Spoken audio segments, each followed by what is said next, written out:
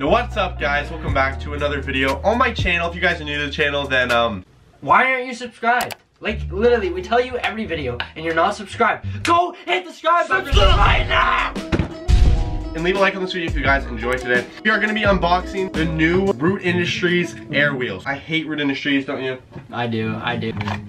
Oh, Oh, they actually- It's the Eagle Sparkle wheel that I was supposed to do a giveaway with and I never gave it away. Wonder why I didn't give it away? Because they're not subscribed? Because I chose the winner and the buddy never responded. I'm just gonna give it to like, I'll just Someone give it to a different needs comment. Today we're doing a top five video once again. We're doing top five discontinued scooter parts. So these are parts that don't get made anymore. You can somehow find a brand new one if you guys look deep enough on the dark interweb.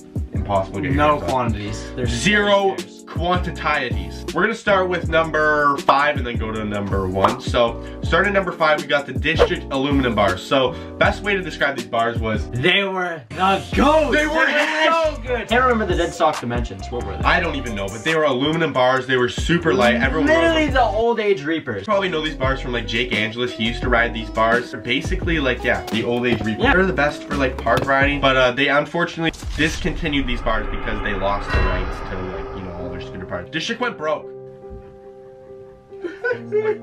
we actually don't care. Yeah, this went broke and like they couldn't afford their bill for their factory or whatever, their rent. So get this, they had to pay the people by giving them their designs for all their parts. I did not know that. That's actually crazy. Yeah, I guess what these people did. They created Longway pro scooters.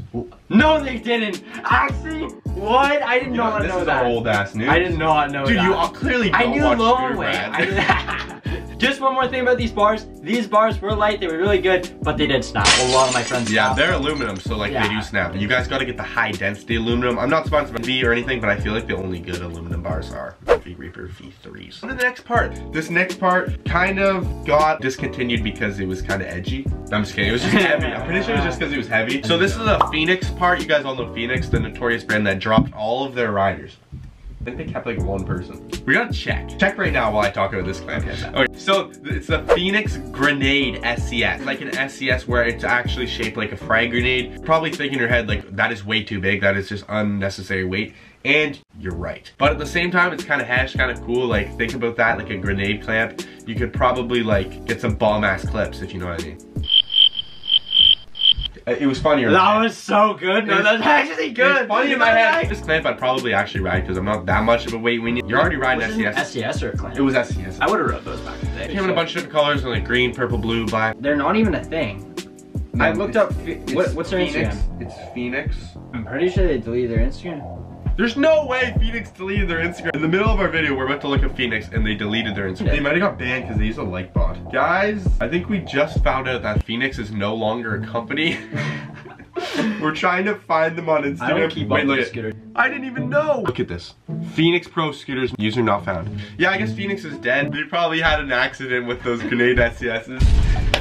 We aren't funny. So Phoenix is not a company anymore. Neither is this clamp. So on to the next part. So the next part on this list, we're gonna start getting into the money parts. Like these parts are the good parts. That Love like, these parts. Like we actually I'm miss pretty- these I'm parts. pretty sure- The Envy AOS V2 and My favorite. Oh my god. I never rode the V2, but I rode the V3. A few of them. I had the Jesse Ikea. Wait, wait, wait, wait. Did you have the Jesse Akita? Yeah. I Dude, nobody asks. Nobody cares. Yeah, you can you can leave that. Yeah, see ya. Yeah.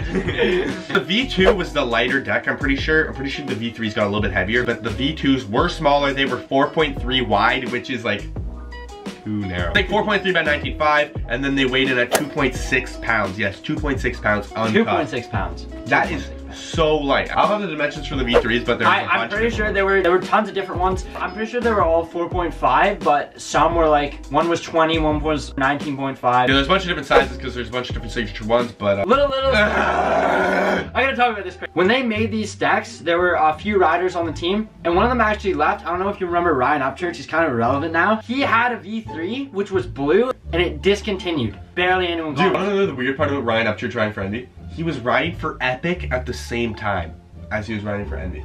Yeah, it was weird. Enough of that That's guy, not he's very irrelevant. Envy AOSV 2 and 3 were the ultimate park deck. They were really good. I'm sure a lot of you guys at home miss those decks so much. So many people have this stacks. I know, they were good. A lot of people still have the V3s. If you guys have a V3, make sure you guys comment down below because we actually want to know. So on to the god tier parts of this video. So uh, can we just get like a, a drum roll real quick? The District Cam Ward and District Brandon James decks. I'm sure you guys saw this coming. These were the best decks to ever roam the earth. District Cam Ward, I love, but I kind of got over it because it's a little too short. 20.5 by 4.75. They had barely any foot room, but they're just so nice. Like, name a better white deck besides like the native deck. Actually, native deck's bad. But these decks just felt so nice. Everyone was riding them. I actually originally got it because everyone in Magic Classic was riding them.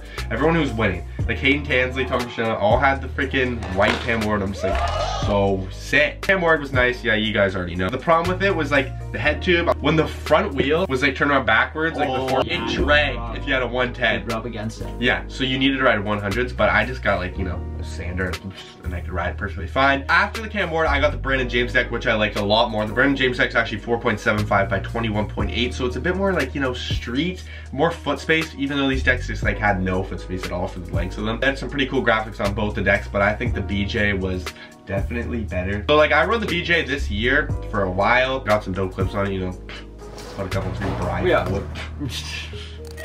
Back with a bang. full whip to board. I'm just flexing on everyone. But like these decks were god tier. They both weighed like 3.2 pounds. You guys can correct me if I'm wrong. But um, yeah, I think we did a pretty good summary of all these parts. You guys might have not known any of these parts. One, two, three, four, five, six. It's technically six. Technically six because we contain the two together. Yeah, whatever. But we're still gonna say top five because it's more artsy. So uh, if you guys enjoyed this video, like the video because like if you I like it, you like it. Slap that like button. Slap that like button right there. I'll put it right there. Slap it. Make sure you guys uh, subscribe down below for more Screw content. Make sure you guys follow my Instagram, put it right there. And Evan's Instagram's gonna be on the screen too because, you know, good old guest, good old homie from Ontario is gonna be going back in a couple days, which is really hype. Can't wait. Yeah. yeah, I hope you guys enjoyed. Make sure you guys do everything I said, and I'll see you guys in the next one. Peace out.